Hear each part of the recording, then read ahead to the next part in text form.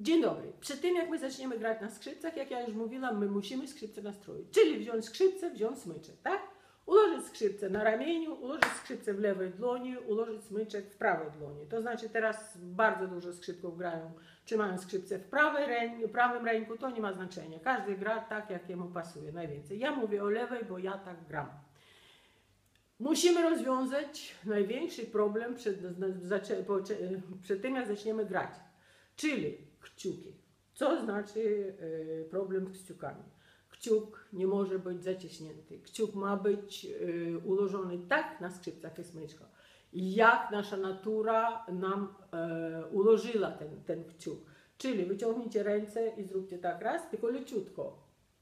I teraz dlaczego ja Wam pokazuję swoje kciuki, bo u mnie ułożyli tak, u mogą być absolutnie inaczej. Jak ja już mówiłam na poprzednich lekcjach, że u mnie była uczennica, który kciuk rósł tutaj.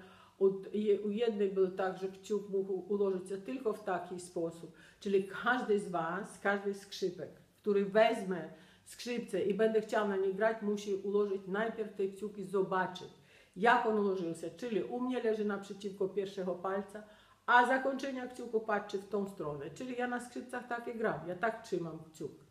Widzicie, to. Na smyczkę będzie to samo. Nie ma mowy o tym, żeby odciągać gdzieś tam, jeszcze tam coś takiego. Nie.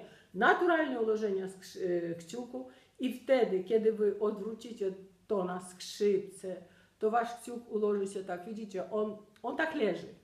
Nie można jego układać tak, jak wy chcecie, bo wy sami nie, chcie, nie macie pojęcia, jak on ma układać się, bo nie, to po prostu niemożliwe. Musi ułożyć się w sposób naturalny i wtedy nie będzie problemów ze skrzypcami. Nie będzie problemu z wibracją przede wszystkim, z przejściami i tak dalej. Do następnej lekcji.